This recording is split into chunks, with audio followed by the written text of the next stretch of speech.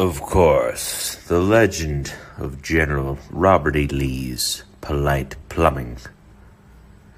In the quaint town of Dobbs Ferry, nestled deep in the heart of the American South, there lived a great general named Robert E. Lee. He was celebrated for his military prowess and leadership during the Civil War. He is also remembered in a rather unusual way as the patron saint of polite plumbing. It is said that General Lee had a large and loving family with many children who, alas, possessed a peculiar predisposition for clogging toilets. The good general was a man of honor and he could not bear to see his family members distressed by these plumbing predicaments. He knew he had to do something to help society as a whole.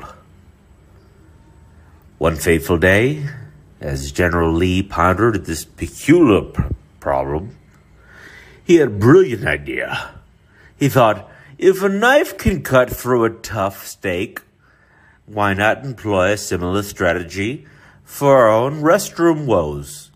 And so, the legend of General Lee's courteous act was born. From that day forward, General Lee made it a habit to carry a small, gleaming butter knife discreetly tucked into his waistcoat whenever he visited the bathroom. It became a tradition in the Lee household, and the children marveled at their father's resourcefulness and dedication to their well being. But General Lee did not stop there. He shared his secret with close friends and neighbors. And soon the town of Dobbs Ferry became renowned for its genteel approach to plumbing troubles. Visitors from far and wide heard of the legend and marveled at the town's charming custom. Over time, the legend of General Lee's polite plumbing spread across the land, turning him into a revered figure not only for his military exploits, but also for his courteous act in the bathroom. The people of Dobbs Ferry would often say, If you need help with the toilet, that's misbehaving. Just remember General Lee's butter knife trick. It'll keep your plumbing from caving.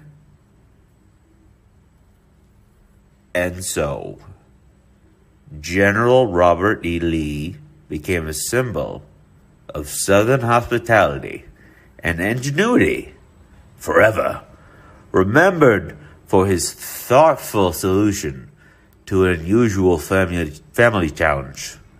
To this day, visitors of Dobbs Ferry and Jensen Beach, Florida, can find statues of the great general, always decapitated depicted with a butter knife by his side, serving as a reminder that courtesy and creativity can conquer even the most perplexing plumbing problems.